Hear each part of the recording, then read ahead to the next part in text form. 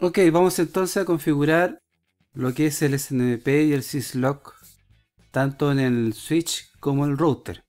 El syslog server ya lo tenemos configurado con la dirección IP la 192.168.1.100 máscara clase C. Y el servicio de syslog lo tenemos acá. Syslog está on y está esperando que le llegue información tanto del switch como del router vamos a configurar el router de la siguiente manera. Ena config t.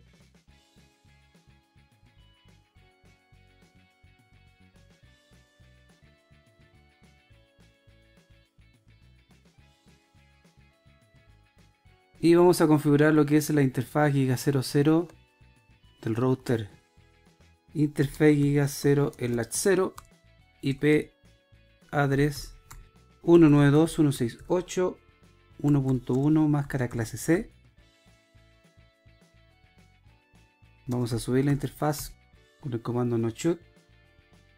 Y vamos a configurar lo que es el SNMP SNMP server community y acá le ponemos el nombre de la comunidad que en este caso es snmp-cisco y le vamos a indicar si es read only o read write en este caso read only y vamos a configurar el snmp community cisco rw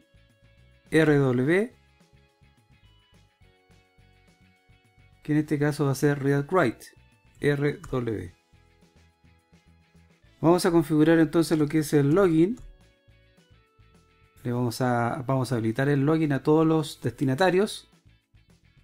Y vamos a habilitar el login a la dirección IP del servidor de log, al syslog. En este caso 192.168.1.100. Y vamos a configurar el nivel de la información que vamos a enviar. Login trap. Y en este caso lo único que soporta Cisco Packet Tracer es debug. Es decir, envía todo. Exit. Y copiamos la configuración a la NVRAM. Vamos entonces a configurar lo que es el switch ahora. O switch ENA config T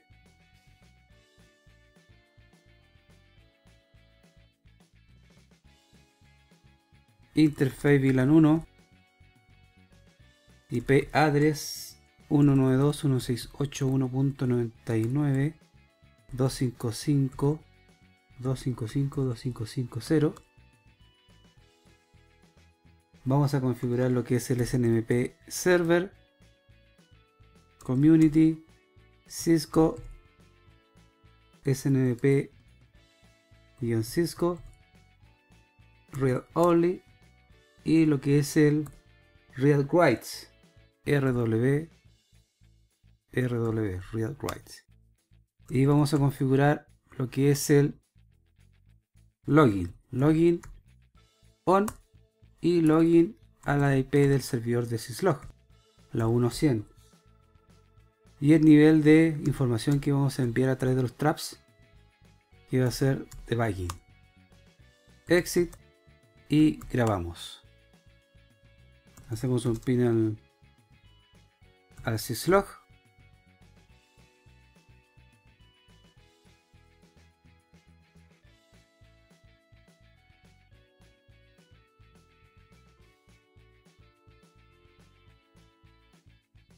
config vamos a, subir la interfaz VLAN 1 no shoot ahí subió. Y ahora si hacemos un pin a la 100 responde bien. Y hacemos un pin al router que es las 111 también responde bien. El router hacemos un pin al syslog para asegurarnos de que hay conectividad. Responde bien entonces lo que vamos a hacer ahora va a ser eh, por ejemplo una configuración config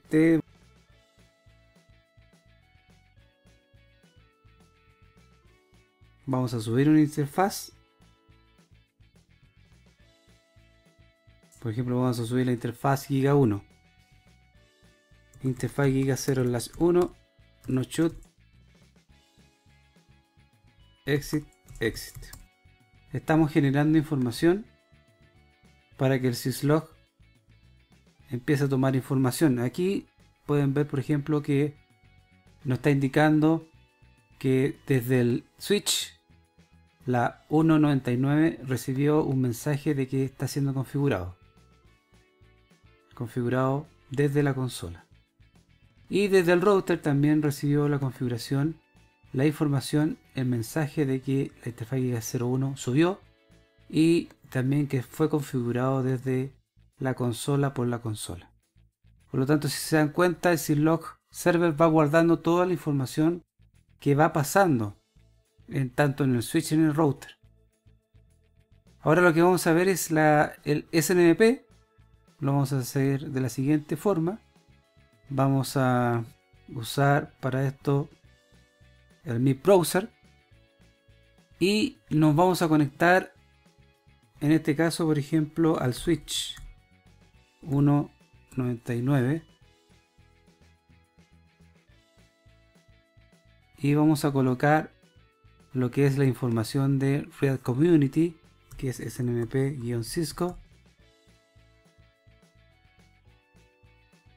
Y la información de comunidad de Real Rights, en este caso es snmp-cisco-rw. Y la versión, la 2. Y vamos a, en este caso, vamos a buscar una dentro del árbol de MIP vamos a buscar un en system system name. Vamos a hacer un get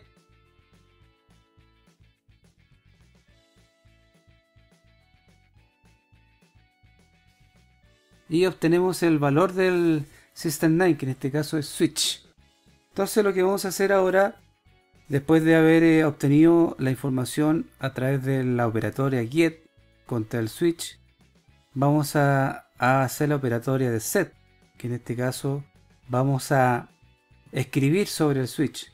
Si se fijan, el tipo de dato es octet string.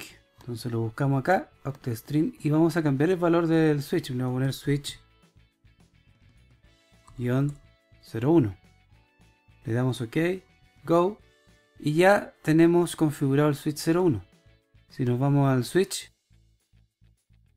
veremos que cambió el nombre de switch a switch 01, por lo tanto a través del protocolo CNMP también podemos escribir en los dispositivos.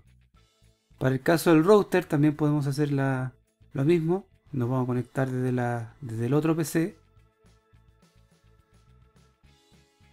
Nos vamos al Mi Browser 192.168.1.1 que es el router. El puerto 161 que ocupa el protocolo SNMP, el Read Community SNMP-Cisco y el Write Community SNMP-Cisco-RW y la versión es versión 2. Y vamos a hacer lo mismo, vamos a buscar dentro del árbol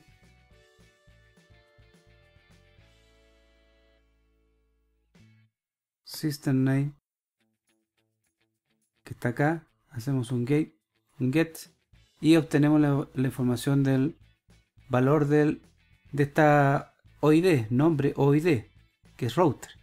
Y vamos a cambiar el nombre del, del router.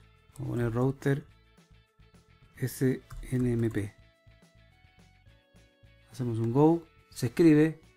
Podemos hacer un get también para ver si se escribió realmente y vamos a mirar el nombre router y vemos que cambió de nuevo. Gracias.